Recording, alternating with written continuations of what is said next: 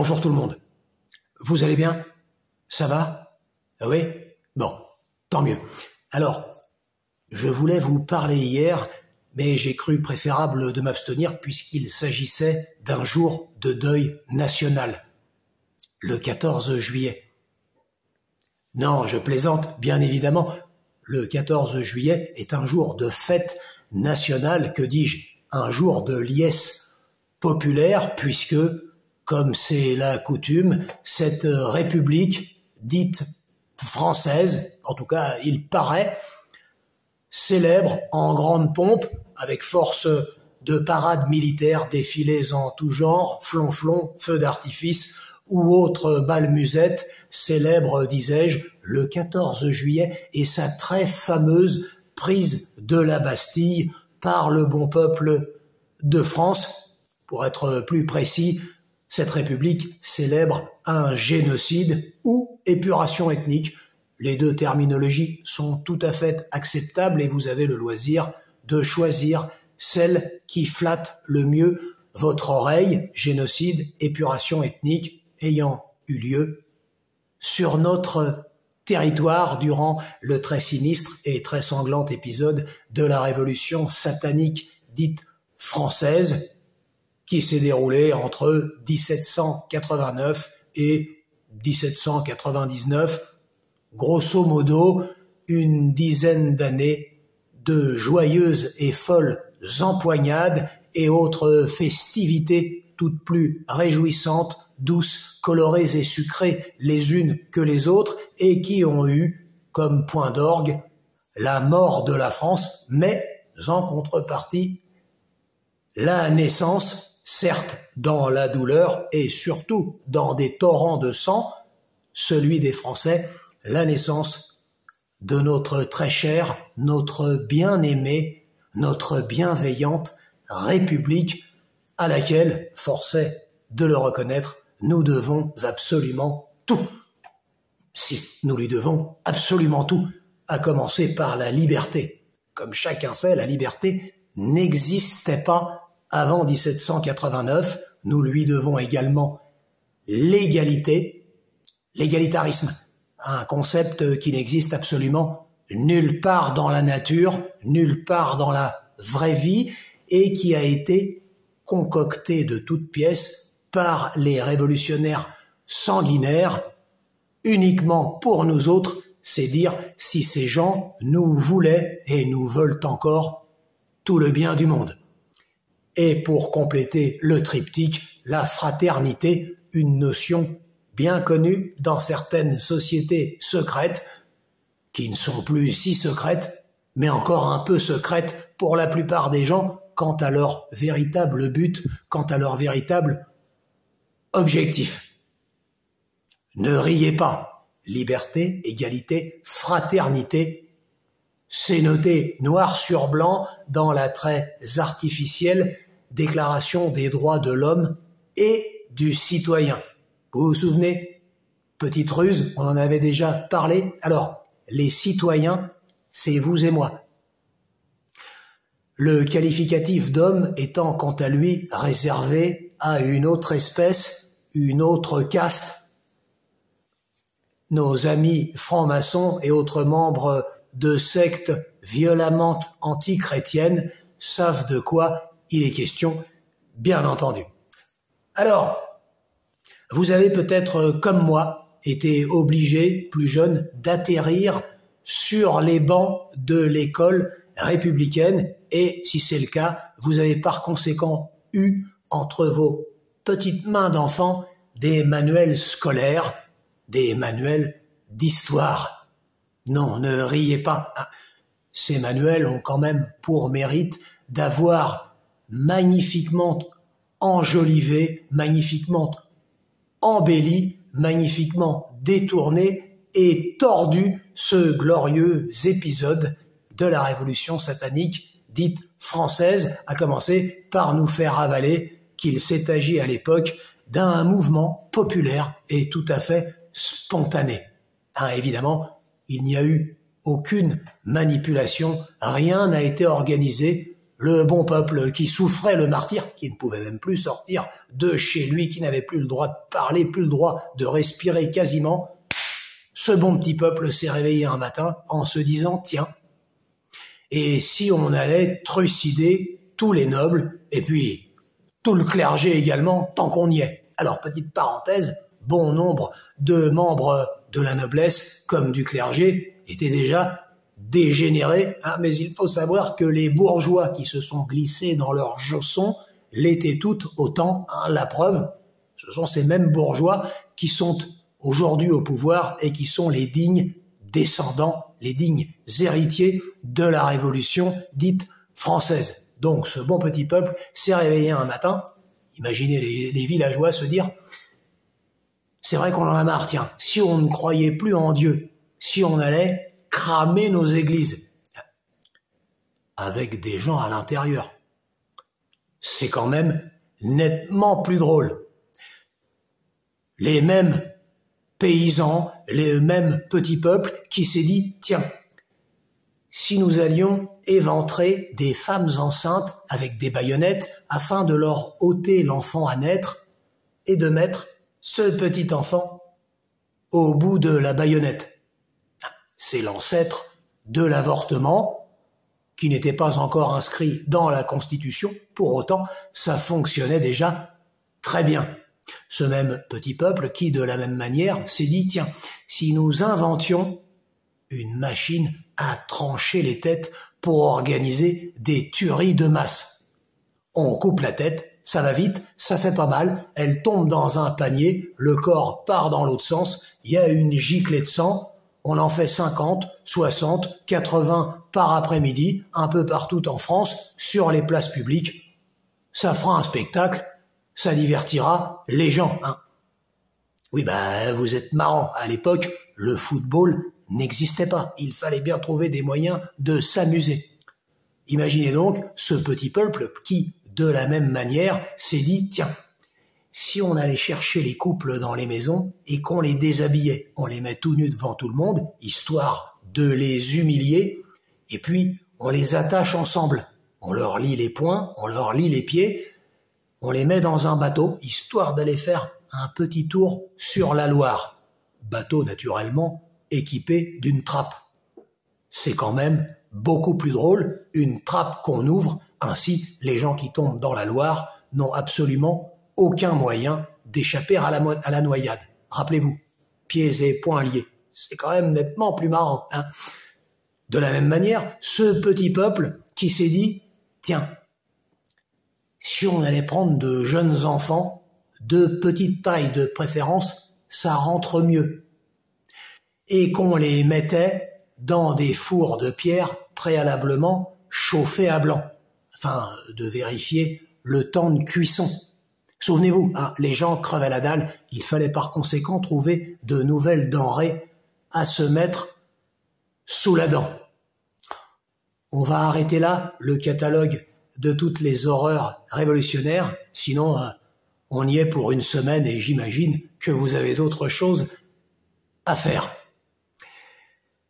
Alors, euh, la mythologie de la Révolution voudrait donc que ce soit le petit peuple qui, d'un coup, s'est levé et a repris sa souveraineté, sa liberté, son pouvoir. Nous rappellerons ici que l'immense majorité des gens qui sont morts dans des conditions abominables et injustes durant la Révolution étaient des personnes comme vous et moi. C'est-à-dire des gens qui étaient coupables de rien du tout, hein, qui n'avaient commis aucun crime. Parmi eux, de simples ouvriers, des travailleurs de toutes sortes, des paysans, des vieillards, des enfants également, de très nombreux enfants, des curés, des bonnes sœurs. Je pense notamment à cet épisode des 16 sœurs carmélites de Compiègne, qui étaient âgées, si ma mémoire est exacte, de 16 à 42 ans pour la plus vieille d'entre elles, je crois. 16 sœurs qui ont été arbitrairement arrêtées, enfermées et qui ont fini par être décapité sur la place publique. Leur crime? Ben, Elles étaient catholiques et elles ont refusé d'abjurer leur foi. Elles ont refusé qu'on leur impose la déesse raison, un très cher à Robespierre et ses petits copains, ou encore le grand architecte de l'univers. Voilà quel était leur crime. Elles ont donc fini décapitées en place publique, et la littérature de l'époque, les contemporains, les témoins, racontent qu'elles sont montées euh, sur l'échafaud en chantant des cantiques devant une foule silencieuse, vraisemblablement très admirative de leur courage, une foule silencieuse, médusée, terrifiée, une foule qui n'a pas levé le petit doigt pour les secourir. Alors il ne s'agit pas évidemment de jeter la pierre à tous ces malheureux quand on sait que durant ces épisodes de terreur, le moindre regard exprimant de la compassion, la moindre parole bienveillante faisait de vous un suspect. Car oui, à l'époque, vous pouviez être suspecté d'être suspect, d'avoir des idées allant à l'encontre de la révolution. Et donc, euh, on vous prenait par l'oreille, on vous mettait dans une charrette et vous alliez ensuite vous faire décapiter sur la place publique. Voilà pourquoi les gens étaient terrifiés, voilà pourquoi on appelle ça un régime de terreur. Alors, euh, tout ça pour dire que cette euh, mythologie, certains auteurs se sont euh, attelés à la contredire en remettant l'église au centre du village, si l'on peut dire, et tout simplement en amenant les faits. C'est pourquoi je me disais que ce serait peut-être, si vous le voulez bien, une bonne idée de vous lire de temps à autre certains passages de certains auteurs que j'ai lus et qui nous parlent de la Révolution. Voilà, c'est une idée comme ça qui me vient. Euh, pourquoi? Parce que je pense que c'est un, c'est un abcès qu'il est bon de crever.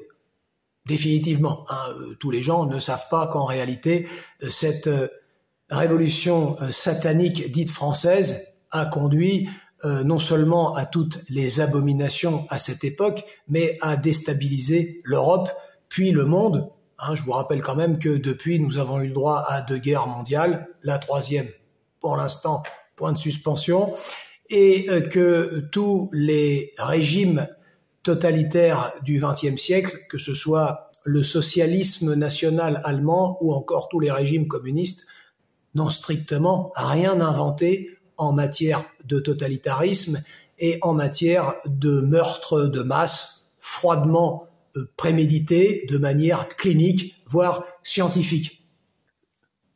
Tout part de la révolution.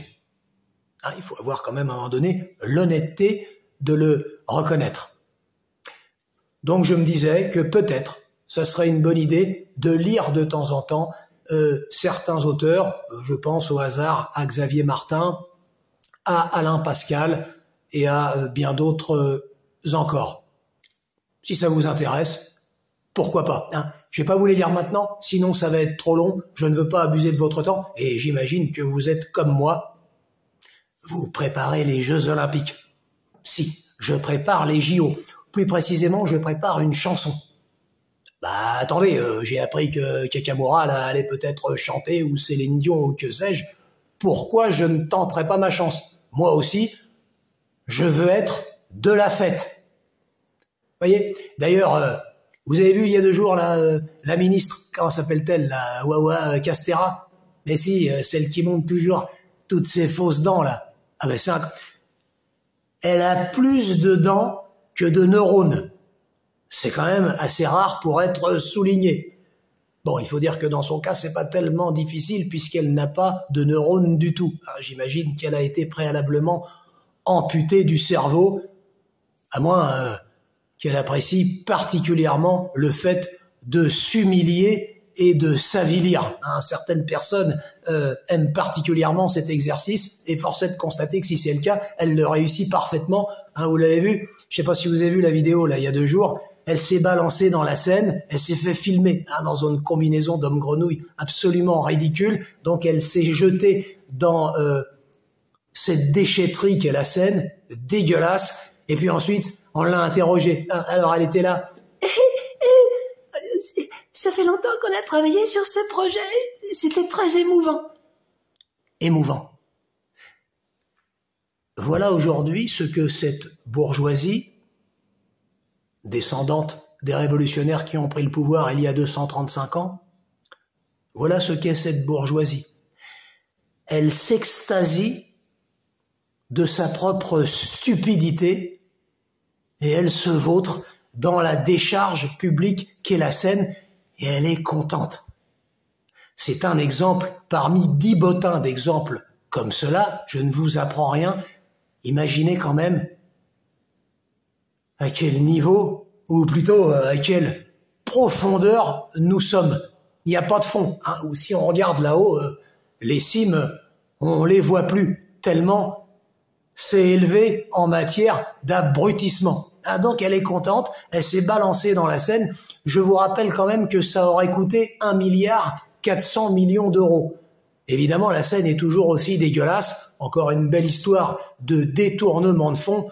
Certains s'en sont probablement mis plein les fouilles, un peu comme tout ce qui est aspiré, aspiré, pardon, je m'en étouffe, par notre chère République qui, depuis le départ, hein, de toute façon, a été vendue à la finance et notamment à la finance apatride. Ça continue, hein, c'est une hémorragie qui semble ne pas avoir de fin. Ce qui m'épate encore plus, c'est que des gens continuent d'obéir, de s'avilir à des gens, à des ministres comme Wawa Castera. C'est-à-dire tous ces gens qui vont acheter leur passe sanitaire pour aller voir les épreuves des Jeux Olympiques. Ça, pour moi, ça reste un véritable mystère. Je n'arriverai jamais à comprendre. Voilà, voilà ce que je voulais euh, vous dire. Donc euh, pensez-y si ça vous intéresse. Quelques lectures pour remettre au carré cette euh, histoire de la révolution satanique dite française que nous subissons encore de plein fouet, hein, puisqu'elle n'est pas terminée. Rassurez-vous, on est en phase terminale. Enfin, rassurez-vous, je ne sais pas s'il faut être rassuré. Euh, et je rappellerai encore que, comme nous l'avions déjà dit dans une capsule lors de l'intronisation du petit euh, Gabi, hein, le porte-clés du gouvernement comme euh, Premier ministre, il y a quelques mois de cela, rappelez-vous qu'en début de cette année, l'employé de banque Valet des Rothschild, qui sert de président à cette République soi-disant française, avait appelé ses ministres à non pas être des ministres, mais à être des révolutionnaires et plus encore des soldats de l'an 2. L'an 2, 1793-1794, régime de la terreur et toutes les exactions dont nous que nous avons effleuré simplement dans cette capsule. Ça n'a choqué personne. C'est peut-être ce qui est le plus choquant. Et pourtant, Dieu sait si on entend et on voit des trucs choquants aujourd'hui. Souvenez-vous bien, appeler ces ministres à être des révolutionnaires, à être des soldats de l'an 2, c'est-à-dire des génocidaires.